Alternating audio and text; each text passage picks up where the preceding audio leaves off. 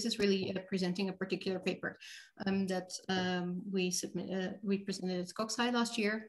So this is really uh, at the intersection of artificial intelligence and cognitive science. It's a study into active word learning through self-supervision. So we are modeling um, processes that also happen in human language learning, but we're modeling them using AI. Uh, and I work together uh, with Afra Alishahi, my supervisor at CSAI, and uh, Ali Reza Mahmoudi Kamalabad, who was a master student at the time, uh, doing a research project with us, and is currently working on his PhD uh, in robot-assisted language learning.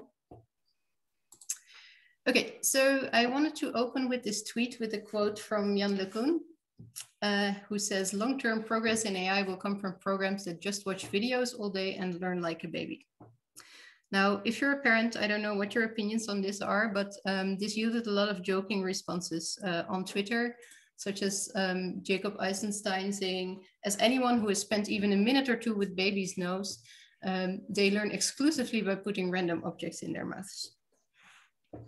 Now, of course, this is a joke, right? Um, um, but the, what I find quite interesting about this uh, response is that in the second case, the baby is not just watching videos, right? The baby is actively doing something, it's actively exploring their environment, right? So even though it's a joke, there is a, there is a, a grain of truth in there. Um, and this is kind of the, the type of, uh, the, the idea that we are, we are modeling uh, in our research. So in cognitive science, um, one of the areas that's studied a lot is um, uh, studying which words uh, map to which objects in the environment, right? So this is very important, of course, to be able to talk about uh, uh things in the world is you need to know the correct label for objects. And one of the ways in which this is uh, often modeled is through cross-situational word learning. Um, there are many different implementations, but the uh, basic idea is always if you uh, look at a lot of occurrences of, uh, of objects and words in different situations, eventually you will be able to uh, figure out which ones are, uh, are mapped to each other. Now, as I said, there are many different implementations and algorithms proposed for this, but they, they all have in common that typically they, the learner just happens upon language and visual input, right? So the learner just happens to see objects and get language input. Um, and what we're trying to do here is actually when you when you think about parents and their children, very often parents will will talk about objects that the child is already attended, attending to. We know this from language acquisition studies that this is the case. Uh, parents are very very um, really try to follow their their child's attention. So we thought, okay, potentially children have the opportunity to to shape their own language input, right? So um, what if they do so based on their current language knowledge, right? So what if they are particularly curious about objects that they don't really know the correct label for, for example? How does that shape learning? So that's the basic idea. So we try to uh, try to see if selecting input according to some some uh, some measure of what your current language knowledge is, how that would how that would shape the learning trajectory. So what is the task that we're, we're modeling? We're modeling um, basically a two-part task. So uh, one is uh, figuring out which object is the correct referent for a label, and the other is which is the correct label for, for, uh, for an object, right? So we have a comprehension task and a production task. Now the thing about our model is that we have these two modules, but they can actually feed into each other. So if we have a comprehension, uh, the comprehension module sees a bunch of objects, here's a word, outputs uh, uh, outputs the object that it, think is, it thinks is the most likely referent, then we can again feed this object to the production module, which outputs a label. And this is a sort of introspective quality of the model that we can use uh, both to train it in, in a self-supervised way and also to select input that is, uh, that is um, uh, relevant in the current state of knowledge. So let's see how this self-supervised learning goes. This is a toy example. In reality, we use realistic images, but um, basically we have scenes with a bunch of objects. So let's say there are three objects in this scene, a duck, a sun, and a tent. And we hear a word called duck, uh, we hear the word duck. Then the comprehension module tries to match the, the find the correct object that goes with this label and says, okay, this this second object, this uh, this sun, that is probably the um, the referent. It's wrong, right? But uh, it doesn't know that. Then we feed this object to the production module, which outputs a label. and produces a, uh, with, uh, with outputs a label, right? So we have we put in this object and we output a label. Now, what can we, how can we use this for learning? Well, we just compare, compare the input at the start to the output, right?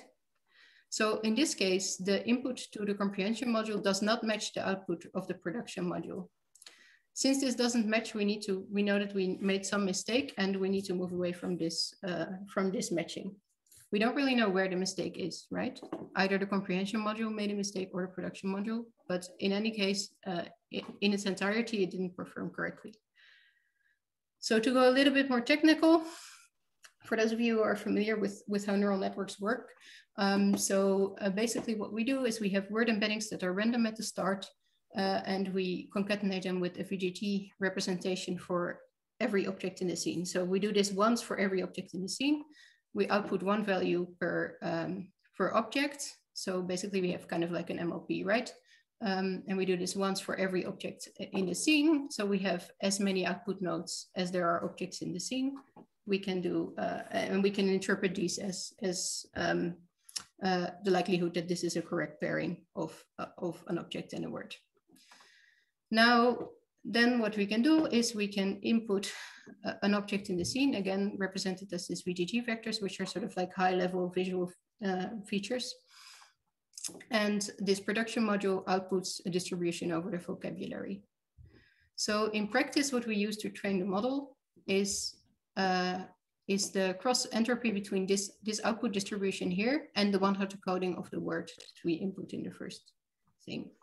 And we backpropagate through this whole thing. And we can actually do that because we, yeah, okay, maybe I'm going into too many, many technical details, but um, the reason we, we can actually do that is that we don't, during training, we don't input just one object, but we input a weighted sum of all of the objects in the scene. So we treat these, uh, these values here as attention. Okay, um, that's the technical part. So now how do we use this two-part thing to also select input, right? Because that's the other part of this study. Now we sort of flip the modules. So what we do, because we want to know for each object in the scene, would it be helpful to receive the label at this point, right? Would it be helpful to, to receive uh, language input for this one? So we, for every object in the scene, we input the objects to the production module, which outputs a label. Then uh, we uh, feed this label together with all of the objects in the scene through to the comprehension module, which outputs an object again. And again, we can, we can see whether this matches or not. Now, how do we actually use that uh, to see if this would be helpful? Well, one of the things we can do is we can look at the mismatch. So basically just, uh, is this the same object here or not? Um, and that that is what we call subjective novelty. So if these two, if these this mapping is very wrong, then subjective novelty will be very high, right? So it's basically the, the average absolute difference between the output nodes. Um, and then we have a second measure, which is called plasticity. And this is actually the highest for those items for which the learner is kind of like unsure. So it doesn't, it hasn't made up his mind very, very um, very clearly. Um, for those of you who are familiar with how, how neural networks are trained, this is actually um, based on the, the, um, the uh, gradient of the output uh, activation function, which means that if we do a single update for, for a model that has this kind of output, then that would actually bring a very big change in, in the, um, in the, uh, in the output representation, let's say. Okay, so we have uh, a measure that says whether we are wrong, and we have a measure we, that says uh, whether we expect to be wrong, right? That's the thing, and, and a measure that says whether we um, are have made up our mind very clearly or not. And then we have curiosity, which is basically the product of the two. So it considers both these factors. And then we have another condition, which is random. So we just get one of the objects in the scene at random. That's the one that we get the label for. Let's see how these training results, uh, how these results compare. So first of all, what we see is curiosity, models trained in a curious condition are performing the best.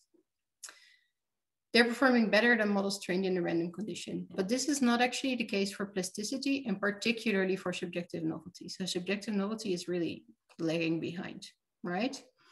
Um, and another thing that we can see is that the standard deviation, so this is, this is averaged over 20 runs, The standard deviation for models in the curious condition is the lowest, which means that most of the runs kind of converge to the same level, right? Whereas for the random condition, there's a bit more variation and for plasticity as well.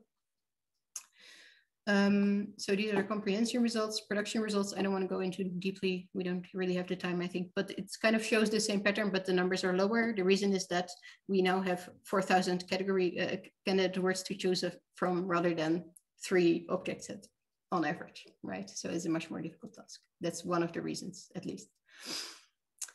Um, I wanted to show you these plots, which are the results after each epoch of training for all of the models that we trained. So we trained 20 models in every condition. These are, these are on training data after each epoch of training. Let's first look at the curious. Curious models, curious models are the, the um, orange ones. So as you can see, they are both have the highest accuracy in uh, training and, and on test data. And also uh, the, the, all of the lines are kind of like close together, right? So they kind of converge to this level quite robustly. So for, for the blue one, which is random, some of the lines kind of converge to similar levels, right? But it, this is not robustly the case. So some of these guys don't really end up at the same level. Um, and for plasticity, the picture is a little bit different, but it's kind of similar. And another thing to see is that um, even at the very after the very first epoch of training, already uh, curiosity has a, sort of a leg up. Now you may wonder about subjective novelty, which is the odd one out, right? This, these green, bizarre green lines here, and they are performing exactly a baseline here. So what subjective novelty seems to be doing is it's very good for remembering your training data. It's not good at all for learning anything that generalizes. Um, okay, that was um, the results. So basically, curious exploration does help learning faster, more robust, more accurate, but subjective novelty and plasticity alone do not. Thank you.